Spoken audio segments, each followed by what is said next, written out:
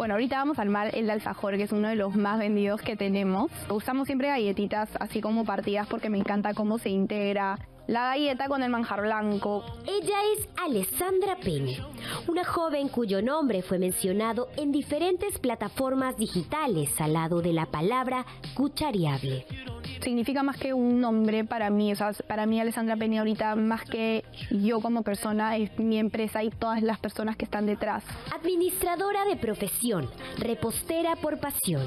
No hay paladar que se resista a probar sus cuchariables.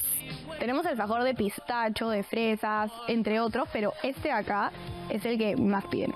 Pero mejor vayamos despacio, como las cucharadas que se le suele dar a sus creaciones pasteleras los domingos familiares ya la gente no me pide torta entera, me piden, son 10, me piden 6 cuchariables, los ponen ahí al costado, cada uno se sirve lo que quiere. Alessandra Penny jamás imaginó que uno de sus proyectos de la infancia se volvería realidad tan pronto. Ya cuando fui creciendo, yo sabía que quería o tener un restaurante o tener algún catering, algo relacionado a la comida. Solo tiene 25 años y ya es toda una emprendedora líder en su rubro. Ponemos nuestro frosting en la manga y lo decoramos como se ve en el video. Y al final lo decoramos con pecanas que le da un toque perfecto.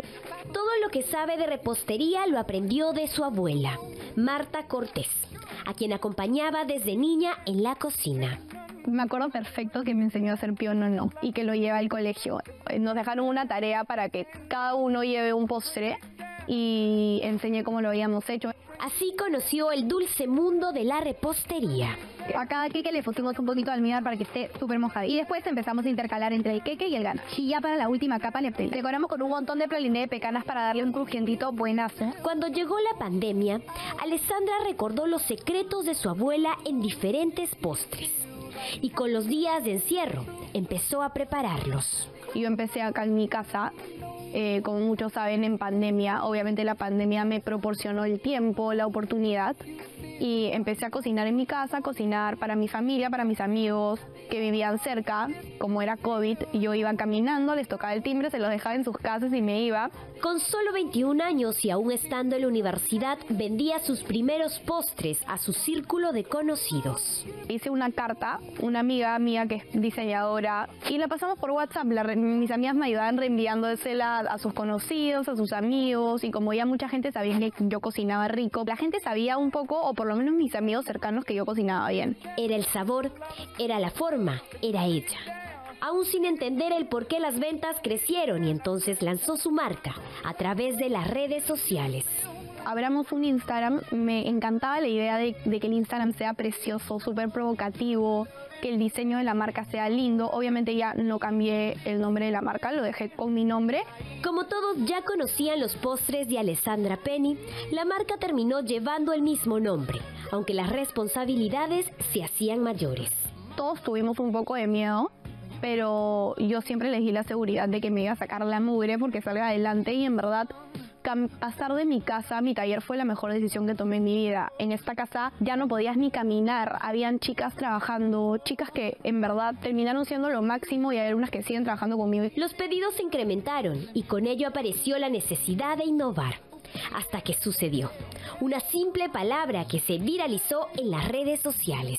Vendía tortas enteras y ya después la gente me decía, ah, le saca porciones, saca porciones. Como yo trabajaba desde esta cocina y el espacio era súper limitado, la refrigeradora no tenía espacio, por un tema hasta de higiene, de un montón de cosas, dije, probemos hacer estas porciones cuchariables, que en verdad aparte a mí me llamaba un montón la atención. Yo siempre me preguntaba por qué nadie vendía porciones cuchariables. Decía que esas presentaciones en envases de vidrio o acrílico eran demasiado chiquitas. Obviamente me parece lindo que cuando vas a un sitio te sirvan una tajada del postre y te lo emplaten, pero cuando estás en tu casa, en tu cama, en me provocaba comer algo grande en una porción grande que la pueda disfrutar en pijama tirada en mi cama. Y obviamente ya cuando empecé a vender postres dije, bueno, esta es mi oportunidad. Hice mi primer pedido de empates y día siguiente que me los entregaron, yo ya estaba vendiendo porciones en envases cuchariables. Un año y medio, dos años después, están virales en TikTok y todo el mundo los vende y todo el mundo los tiene. En buen cristiano, cuchariable es un alimento que se disfruta mejor en un envase para llevar. Podría irme aún mejor si es que empiezo a acercarme a mis clientes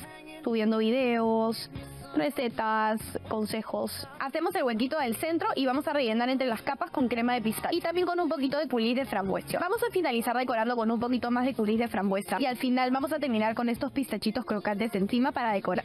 Este fue su primer video que se hizo viral.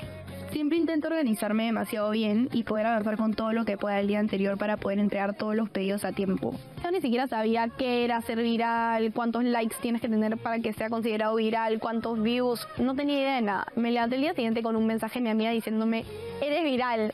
A partir de ese momento los pedidos de los cuchariables se multiplicaron y hoy Alessandra Penny distribuye más de 2.000 cuchariables al día desde su taller. Me acuerdo que el primero que hice fue torta de chocolate, eh, hice la torta de fresas, que es una de las más clásicas que tengo ahorita, y el de zanahoria. Fue un éxito, tuve miles de pedidos, pero fue más exitoso aún cuando mandé a hacer las bolsitas. Entre sus clásicos postres está el cuchariable de alfajor con manjar blanco de olla, que como puede ver es una porción para compartir. Bueno, ahorita vamos a armar el alfajor, que es uno de los más vendidos que tenemos. Eh, usamos siempre galletitas así como partidas porque me encanta cómo se integra la galleta con el manjar blanco. Voy dando los huequitos y así voy como armando el cuchariable. Este manjar es de olla. Gracias a Dios no lo tenemos que hacer a mano. Ahorita hemos puesto tres capas de manjar blanco y vamos a ir por una cuarta que es la capa final. Este, como enseño también en varios videos, ponemos esta galletita y al final, para que la decoración quede perfecta, acá le ponemos la última capita de manjar blanco que ya viene a ser la cuarta. Siempre, cualquier alfajor, te lo comes el mismo día y es mil veces más rico. Clavo una velita y cantan Happy Birthday con el cuchariable. Este cuchariable es el de torta de chocolate, otra de las deliciosas opciones de postres que de seguro lo endulzará. Bueno, esta es la torta de chocolate, obviamente también un postre súper clásico. Como yo siempre digo, los clásicos siempre van a ser los más exitosos. Una buena torta de chocolate tiene que estar rellena de manjar blanco y cubierta de fudge. Hay gente que le gusta con puro fudge, que también es delicioso. Y al final le ponemos un poquito de chocolate bitter, como para darle un toque diferente en la parte de arriba, un crujientito, un sabor distinto. Obviamente estas porciones son para compartir, ¿no? Yo creo que también eso es el motivo por el cual ha tenido tanta acogida. Alessandra Penny no sabe en qué momento nació la palabra cuchariable, pero cuenta que fueron sus clientes los que le dieron sentido y nombre a comer sus postres en pequeños envases.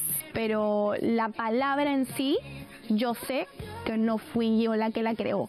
Creería que fue más en los mismos clientes que lo empezaron a utilizar ellos mismos y se empezó a eh, viralizar, viralizar y yo misma lo empecé a usar por naturaleza, pero el concepto en sí del, del envase, digamos, creería que quien le dio forma y lo viralizó, de repente sí fuimos nosotros, como de repente no.